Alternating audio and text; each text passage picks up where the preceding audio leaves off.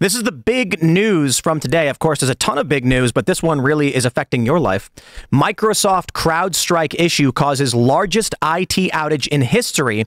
Live updates say businesses worldwide grappled with an ongoing major IT outage Friday as financial services and doctors' offices were disrupted while some TV broadcasters went offline. Wow. Banks were shut down. Air travel has been hit particularly hard with planes grounded, services delayed, airports issuing advice to passengers. The outage came as cybersecurity giant CrowdStrike experienced a major disruption early Friday following an issue with a recent tech update. CEO George Kurtz has since said the company is actively working with customers impacted by a defect found in a single content update for Windows hosts, stressing that Mac and Linux hosts are not affected. This is not a security incident or a cyber attack. The issue has been identified, isolated, and a fix has been deployed. One expert suggested it may be the largest IT outage in history, and I just would like to stress if a single update could disrupt like a large portion of the global economy, You've basically just told all of our enemies the easiest way to, I don't know, shut down the global economy. Some are actually suggesting there's a conspiracy theory of uh, there, there's a conspiracy afoot that it actually was a cyber attack against the U.S. They're trying to cover it up because they don't want people to panic. However, what I what I've seen from some IT channels on X is that the update accidentally had code pointing to what what, what do they call it like a null identifier? Mm. Did you see that too, Jeremy? Yeah, yeah, yeah. Like basically it was a dead link the the memory said pull from this place, and this place was nothing, so it just bricks out like entry yeah. level stuff. Yeah, I, I, don't they yeah. usually test updates before sending them out to the entire freaking world? Not on Fridays. Uh, yeah, I mean, I, automatically I was like, wait, this story kind of doesn't add up here. The first thing that I thought about was Cyber Polygon. Maybe this is a test run, but who knows? Maybe it could be an accident. Maybe it could be a, a coincidence. But CrowdStrike is kind of a political group. They are kind of more aligned with the Democrats. They blame, they blamed Russia on hacking the DNC. They also have a major DEI office. So this is not a, a, bipartisan organization. This is a political organization that also very conveniently wiped off a lot of favorable news coverage for uh, Donald Trump as well. So again, I don't know what happened, but I, I, hope we find out. I'd like to point out that bricking out is not always a bad thing. yeah, the crazy the crazy thing about this is that they're saying when all of these computers went down, it's a single update that knocks all the computers offline, and then they have to manually reboot each machine to make it work. This is a huge and glaring cybersecurity issue coming from a company that's supposed to be helping them. But wasn't CrowdStrike involved in like the DNC stuff? Like they, what is it? They claimed that the um, the Russians the were Russians responsible for the yeah. DNC hack. Yeah, that's yep. that, and that's probably not true. But I love how you've got these. Let's just call them friends of the deep state, who will come out and say whatever the deep state wants to hear, and they can tell that to the press, and then you wonder why it is your credit cards don't work one of the theories going around right now, and, and I, don't, I don't really care to believe this stuff, but at least it makes for entertaining content, I guess, is that they're flexing their muscles as a threat to Donald Trump.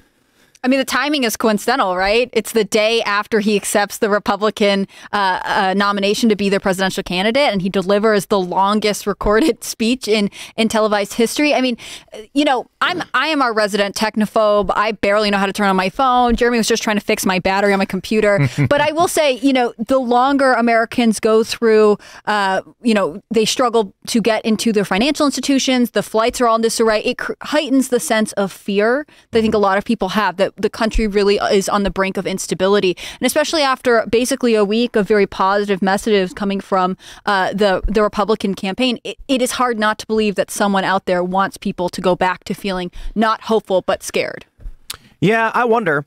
It's it. Donald Trump generated a ton of news. He gave a powerful speech. Everybody was praising it. And then in the morning, instead of the news cycle being Donald Trump's speech, it's planes are down and your and your, and your credit cards don't work. It, right. it, it, it's it uh, is that what you were pointing out, Luke? Like people were freaking out in the morning. They were like, and and it didn't just start in this morning. It, it happened last night. A lot of people were having difficulties uh, flying back with transportation, getting mm -hmm. into mm-hmm. their banks, being able to travel, being able to get emergency services. The Coast Guard had to manually have called yeah, in yeah. because their entire system went down. So it wouldn't surprise me if there were some lives cost because of this uh, coincidence. Oh, well, dude, and how many people get paid on Friday? They're right? saying hospitals, for yeah, instance, exactly, were, were shut down. They couldn't get people in because their computers weren't working. Exactly. There was Absolutely a crazy. big outage uh, of uh, the emergency services in Massachusetts a, like about a month ago at this point, and it was during that huge heat wave that went through a lot of the country, but definitely affected the Northeast. And it was dangerous, right? Because you have extreme heat, and in New England, not everyone has air conditioning, so you have potentially older at-risk people uh, not being able to have intervention. It, it, it is interesting to me that about a month later, we're seeing another big outage on a, an even larger scale. Yeah, even this morning, uh, if you didn't have cash, you couldn't buy breakfast. You still can't. are. Yeah, you, still can't. It's still down. Wow. Yeah. I don't At know. I don't know are. if, if you guys are in the chat. You can comment if, if credit cards are still down. Yeah, they're down for us. Cash is king. It's the only way to get it done. And uh, I don't know. uh, I'm not too mad about it because I don't like, you know, having to do everything through these digital systems. And cash, I think, is a good thing they're trying to get rid of. But uh, even even our team's basically asking how this is possible. We ha- we have one super chat that I want to shout out right away. Patrick C says he was an I- he was an IT sysadmin for 20 years. There's no way this was negligence because CrowdStrike is a huge company. Uh, they have policies in place.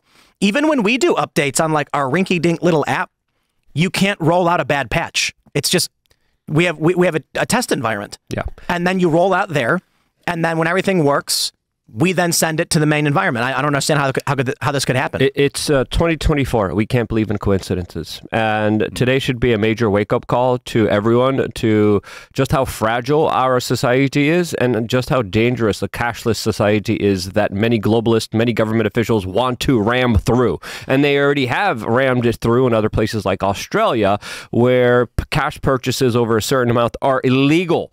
And i they are criminalizing individuality, privacy, sovereignty, freedom at, at the fullest extent. And the buck stops with you. Literally, cash is king. And I think today we realized that we got to have more of it since, of course, the banks don't even have that much uh, cash on hand. either. Remember the change? Remember how hard it was to get change? Like just Yep. small when you know post lockdowns. Oh, yeah. I don't believe that. You know, I'm sure there were quote unquote reasons for that. Pre-lockdowns, there was a whole war on cash, Yes, saying this yeah. it spreads the disease, it Right. spreads the sickness, and I'm like, are you freaking kidding me? Do you know how many hundreds of? I'm sure it's out there. Like in just in credit card fees were lost today. Like astronomical amount of money that was lost today. That's why it's represented in the stock market. A lot of this comes from you know our government allowing the same three companies to run literally everything, and it's just another perfect example of you know a system that favors these mon- virtual monopolies, um, and then gives them all the power, and then you know, really every major bank and every major this and that should probably not be on the same thing. Oh, let's let's let's bring the conspiracy. Let's make the conspiracies worse. Look at this from the New York Post. CrowdStrike global tech outage snarls early voting in Arizona with GOP convention travelers delayed. So uh, all of the GOP reps and delegates trying to fly out are jammed up, severely limiting their capabilities. This will have a noticeable effect on Republicans' ability to have meetings, to make phone calls, to fundraise for at least a day, a couple days, because if they miss their flight today, then they're going to be delayed till tomorrow. Some people probably said, okay, we'll just come back tomorrow. But more importantly, voting in Arizona was actually upset by this. And so some people have been spreading this rumor that Dominion voting machines got shut down. That is not correct. It is something to do with the printers that print out the, the polls they need for voting weren't working. So it actually disrupted voting. Look, Is it going to disrupt fundraising too? I mean, if the RNC, I mean, Oh, it already did. Republicans, Yeah, Republicans 100%. going to be making calls after President Well, that was my Trump's acceptance speech. Yeah, that's that's uh, people this That's morning who should have landed a couple hours, you know, they, they wake up at nine, they get to the airport at, you know, they, they get ready to go to the airport. They're there by noon. Their flight's in a little bit. They're land in the afternoon. They're on the phone after that. It's Friday. Right. Now they're not. Now they're in the air. They're in the airport calling the airline trying to figure out why they can't fly. And all of these Republicans who just heard Trump speak, that's that's the key moment for Trump to be like, give me money. well, Don't not, not just not just those people flying home to make those calls, but if calls go through, are people able to make donations if they are reached? I mean, Oh, it's 'cause the credit cards is the working. actual not, engine yeah. Right. that accepts the donation down. So even if you have volunteers back home in Arizona, can they even process the donations? That's an interesting. As long as if they were using CrowdStrike, then uh, they can't. Everybody else seemed to have been fine. X uh, was fine. Everybody was was posting on X. See, you know, but Linux it- servers were all fine. Anybody who was Yeah. on Linux, my website was fine. I don't. It's kind of wild that we rely so heavily on singular companies for for this stuff, and that they could automatically update in such a way that it just basically breaks everything. There was apparently like some post.